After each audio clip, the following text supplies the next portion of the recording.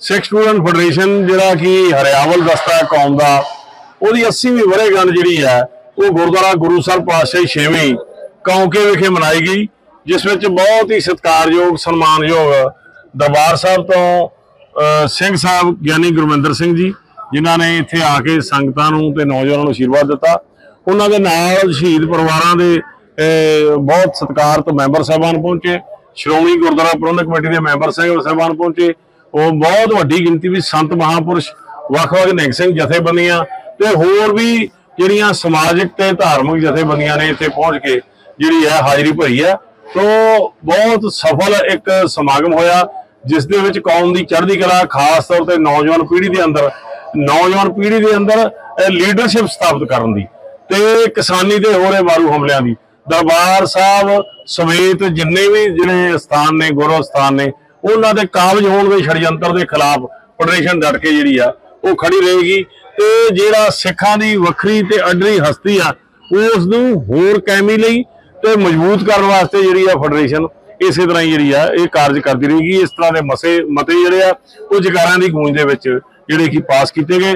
ਸੋ ਅਸੀਂ ਸਮੁੱਚੇ ਰੂਪ ਵਿੱਚ ਸਮੁੱਚੀ ਫੈਡਰੇਸ਼ਨ ਦੇ ਸਾਰੇ ਹੀ ਆਗੂ ਸਹਿਬਾਨ ਜਿਹੜੇ ਇੱਥੇ ਵੱਡੀ ਗਿਣਤੀ ਵਿੱਚ ਪਹੁੰਚੇ ਆ, ਉਹਨਾਂ ਦਾ ਤਹਿ ਦਿਲ ਤੋਂ ਸਤਿਕਾਰ ਕਰਦੇ ਆ ਜਿਹੜੀਆਂ ਸੰਗਤਾਂ ਪਹੁੰਚੀਆਂ, ਉਹਨਾਂ ਦੇ ਚਰਨਾਂ ਵਿੱਚ ਸਿਰ ਰੱਖ ਕੇ ਨਮਸਕਾਰ ਕਰਦੇ ਆ ਉਹਨਾਂ ਦੇ ਸਹਿਯੋਗ ਦਾ ਧੰਨਵਾਦ ਕਰਦੇ ਆ ਗੁਰੂ ਕਿਰਪਾ ਕਰੇ, ਕੌਮ ਦੀ ਚੜ੍ਹਦੀ ਕਲਾ ਲਈ, ਅਹ, ਤੇ ਕੌਮ ਪ੍ਰਸਤੀ ਜਿਹੜੀ ਆ ਨੌਜਵਾਨਾਂ 'ਚ ਪੈਦਾ ਕਰਨ ਲਈ ਇਹ ਜਿਹੜੇ ਸਮਾਗਮ ਸਾਰਥਕ ਹੋ ਸਕਣ। ਸਿੱਖ ਸਟੂਡੈਂਟ ਫੈਡਰੇਸ਼ਨ ਜਿਹੜਾ ਕਿ ਹਰਿਆਵਲ ਦਸਤਾ ਕੌਮ ਦਾ, ਉਹਦੀ 80ਵੀਂ ਵਰ੍ਹੇਗੰਢ ਜਿਹੜੀ ਹੈ, ਉਹ ਗੁਰਦੁਆਰਾ ਗੁਰੂ ਸਾਹਿਬ ਪਾਤਸ਼ਾਹੀ ਛੇਵੀਂ ਕੌਂਕੇ ਵਿਖੇ ਮਨਾਈ ਗਈ, ਜਿਸ ਵਿੱਚ ਬਹੁਤ ਹੀ ਸਤਿਕਾਰਯੋਗ, ਸਨਮਾਨਯੋਗ ਦਰਬਾਰ ਸਾਹਿਬ ਤੋਂ ਸਿੰਘ ਸਾਹਿਬ ਗਿਆਨੀ ਗੁਰਵਿੰਦਰ ਸਿੰਘ ਜੀ, ਜਿਨ੍ਹਾਂ ਨੇ ਇੱਥੇ ਆ ਕੇ ਸੰਗਤਾਂ ਨੂੰ ਤੇ ਨੌਜਵਾਨਾਂ ਨੂੰ ਆਸ਼ੀਰਵਾਦ ਦਿੱਤਾ। ਉਹਨਾਂ ਦੇ ਨਾਲ ਸ਼ਹੀਦ ਪਰਿਵਾਰਾਂ ਦੇ ਬਹੁਤ ਸਤਿਕਾਰਤ ਮੈਂਬਰ ਸਾਹਿਬਾਨ ਪਹੁੰਚੇ। ਸ਼੍ਰੋਮਣੀ ਗੁਰਦੁਆਰਾ ਪ੍ਰਬੰਧਕ ਕਮੇਟੀ ਦੇ ਮੈਂਬਰ ਸਾਹਿਬ ਸਾਹਿਬਾਨ ਪਹੁੰਚੇ। ਉਹ ਬਹੁਤ ਵੱਡੀ ਗਿਣਤੀ ਵਿੱਚ ਸੰਤ ਮਹਾਪੁਰਸ਼, ਵੱਖ-ਵੱਖ ਨਿਹੰਗ ਸਿੰਘ ਜਥੇਬੰਦੀਆਂ ਤੇ ਹੋਰ ਵੀ ਜਿਹੜੀਆਂ ਸਮਾਜਿਕ ਤੇ ਧਾਰਮਿਕ ਜਥੇਬੰਦੀਆਂ ਨੇ ਇੱਥੇ ਪਹੁੰਚ ਕੇ ਜਿਹੜੀ ਹੈ ਹਾਜ਼ਰੀ ਭਰੀ ਹੈ। ਤੋਂ ਬਹੁਤ ਸਫਲ ਇੱਕ ਸਮਾਗਮ ਹੋਇਆ। ਜਿਸ ਦੇ ਵਿੱਚ ਕੌਮ ਦੀ ਚੜ੍ਹਦੀ ਕਲਾ, ਖਾਸ ਤੌਰ ਤੇ ਨੌਜਵਾਨ ਪੀੜ੍ਹੀ ਦੇ ਅੰਦਰ, ਨੌਜਵਾਨ ਪੀੜ੍ਹੀ ਦੇ ਅੰਦਰ ਲੀਡਰਸ਼ਿਪ ਸਥਾਪਿਤ ਕਰਨ ਦੀ ਤੇ ਕਿਸਾਨੀ ਤੇ ਹੋ ਰਹੇ ਮਾਰੂ ਹਮਲਿਆਂ ਦੀ।